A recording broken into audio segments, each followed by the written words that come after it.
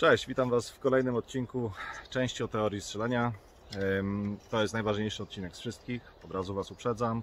Chcę, żebyście sobie dobrze zrozumieli, o czym mówię w tym odcinku. Dlatego powiem to tak prosto, jak tylko jestem w stanie. To, co próbujemy zrobić, to jest za pomocą jednego patyka ze sznurkiem popchnąć drugi patyk prosto. Ok? I to wszystko. Nic więcej.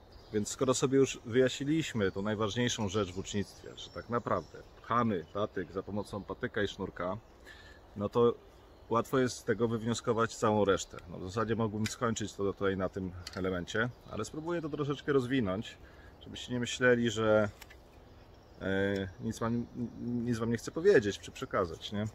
No to skoro mamy już wyjaśnioną kwintesencję ucznictwa, to teraz spróbujmy przejść sobie do takiego bardziej szczegółowego opisu tego, co mam na myśli, mówiąc, że to są dwa patyki i sznurek. To znaczy tak. Ideą jest strzelania z łuku takie działanie fizycznie na łuk, że w momencie wypuszczenia strzały ta strzała wylatuje tam, gdzie chcemy, to znaczy wylatuje prosto z tego łuku. To znaczy ustawiamy energię tak, w jakiejś linii, puszczamy tą energię, no i ona ma za zadanie popchnąć nam pocisk do celu. W związku z tym wszystkie rzeczy, które e, się jakby źle zadzieją w łucznictwie, to zwykle są to źle ustawione siły, które działają na ten patyk, tak? Czyli jeżeli źle ustawimy nasze ciało, no to będziemy dodawać boczne jakieś siły do tego łuku i ten łuk będzie nam te strzały rozrzucał. Czy to będzie jakiś spust na zewnątrz, który nam będzie rozrzucał cały, cały łuk, czy ustawienie ręki tak, że po strzale nam będzie ona skakać czy odpadać. Wszystko to powoduje, że jesteśmy yy, no tutaj po tej ciemnej stronie łuku, jak to się mówi, czyli no nie jesteśmy w tej jasnej, pięknej, prostej linii tej siły, czyli dwóch patyków i sznurka, tylko jesteśmy gdzieś poza nią i źle nią dystrybuujemy. I teraz taka jest koncepcja, żeby to jakby dopracować i zmienić. Więc jeśli te siły fizycznie są źle ustawione, tak, to będą nam te siły gdzieś na boki uciekać i będziemy z tego łuku chybiać.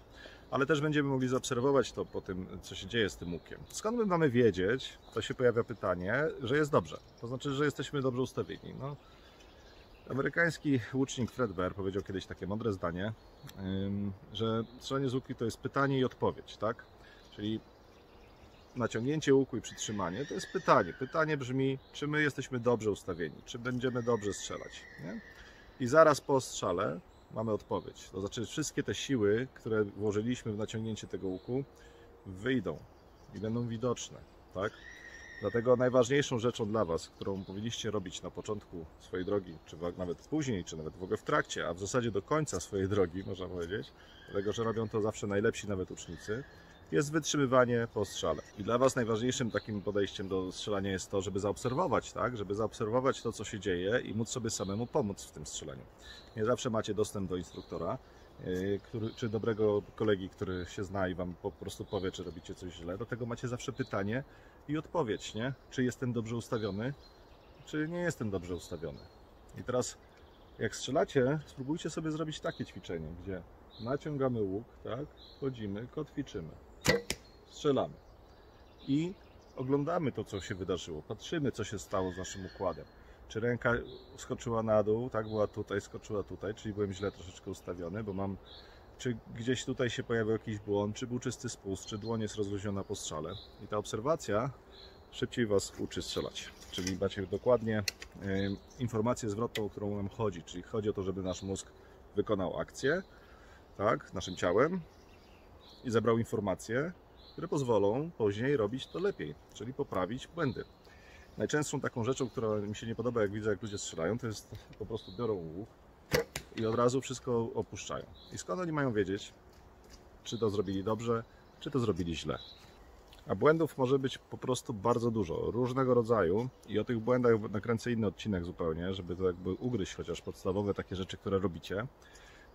To tyle w dzisiejszej części, w dzisiejszym odcinku Akademii Łuku. Dzięki Wam za oglądanie. Mam nadzieję, że takie teoretyczne uproszczenie wszystkiego do naprawdę dwóch patyka i sznurek wszystkim zawsze wychodzi na dobre, bez kombinowania. Siła ma być ładnie rozłożona, mamy wejść idealnie w linię, mamy pociągnąć energię do tyłu, a strzała ma lecieć do przodu.